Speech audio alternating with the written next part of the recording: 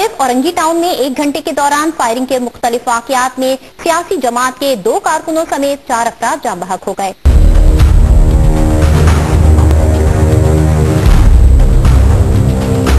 शहर में फायरिंग के वाकयात में औरंगी टाउन चुश्ती नगर में सियासी जमात के दो कारकुनान नेहाल और नूरुल रजा जहाँ बाग हो गए जबकि एम के एम के रहनुमा और कारकुनान की बड़ी तादाद अस्पताल पहुँच गई दहशत गर्दों ने आकर जिस तरह इन दोनों को शहीद किया आपके चैनल से मैं ज़रूर कहूँगा कि या तो चूड़ियाँ पहन लें ये एजेंसीज के लोग।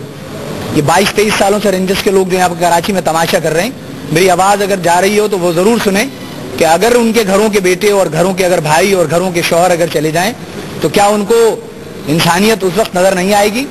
या उस वक्त क्या आँखों से आंसुओं का सिलसिला जारी नहीं होगा? औरंगी में फायरिंग के वाकयात में सियासी जमात के दो कारकुनों समेत पाँच अफराद जहाँ बाग हो गए।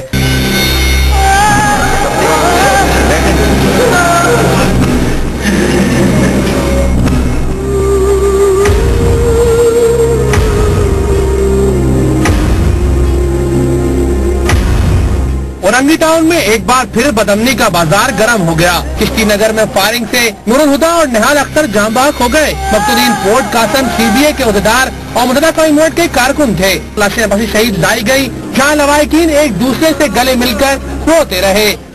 तीन बाइक के ऊपर एक बाइक के ऊपर तीन लोग थे और उन्होंने आगे फायरिंग की और फायरिंग कर कर शहीद कर दिया गया। इनका कसूर क्या है?